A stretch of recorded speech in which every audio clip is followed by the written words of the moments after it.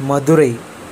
இந்த பெயரை கேட்டாலே உலகத் தமிழர்கள் மனதில் வீரம் தானாகவே தலை தூக்குங்க. தூங்கா நகரம் மதுரை அப்படின்னு சொல்லி சொல்லுவாங்க.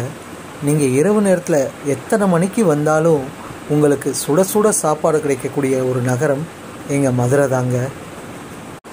உலகத்தினுடைய நாகரிகம் தோன்றியதே இங்கே மதுரையில் தான் சொல்லி ஆய்வாளர்கள் இப்போ சொல்கிறாங்க கீழடி அதுவே எங்களுடைய தாய்மடி அப்படின்ற அளவுக்கு எங்களுடைய மதுரையினுடைய பெருமை உலகளவில் இன்னைக்கு அடைஞ்சிருக்கு.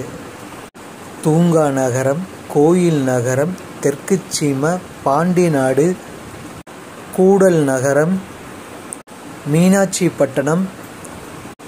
இப்படி எவ்வளவோ பேர் எங்களுடைய மதுரைக்கு இருக்குது வேறு எந்த ஊருக்கும் இவ்வளோ பேர்கள் வந்து கிடையாது. வந்தார வாழ வச்ச ஊர் அப்படின்ற ஒரு சிறப்பு பேரும் எங்களுடைய மதுரை மாநகரத்துக்கு இருக்குங்க. எங்கள் ஊர் மட்டும் இவ்வளோ சிறப்பு இல்லைங்க.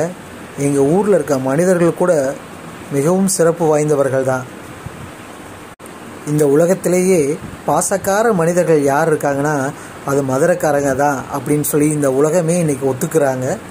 பசக்கார பயகடா மதுரைக்காரங்க அப்படின்னு சொல்கிற அளவுக்கு எங்களுடைய நாகரிகளும் பழக்க வழக்கங்களும் உயர்ந்திருக்கு.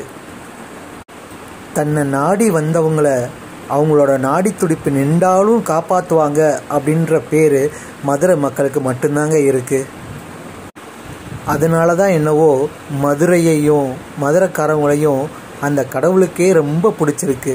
அதனால தான் ஆதிசிவன் பல திருவிளையாடல்களை எங்கள் மதுரை மண்ணில் நடத்தியிருக்காரு எல்லா ஊருக்கும் இல்லாத மிகப்பெரிய சிறப்பு ஒன்று எங்கள் ஊருக்கு இருக்குங்க.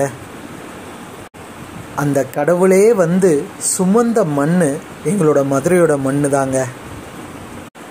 இதை நினச்சி பார்க்கும்போது எங்களுக்கு கர்வமாகவும் இருக்குது கௌரவமாகவும் இருக்குது இந்த காலகட்டத்தில் கூட பெண் உரிமையை பற்றியும் பெண் சுதந்திரத்தை பற்றியும் நம்ம பேசிக்கிட்டு இருக்கோம்.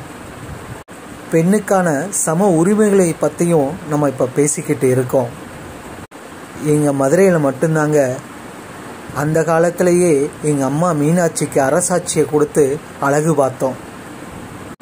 இன்றைக்கும் பெண்களை கௌரவப்படுத்துறது எங்கள் மதுரை மக்கள் தாங்க அந்த கடவுள் பிட்டுக்கு மண் சுமந்த பிட்டு திருவிழா எங்களுடைய மதுரையில் இன்றைக்கி சிறப்பாக நடந்துச்சு.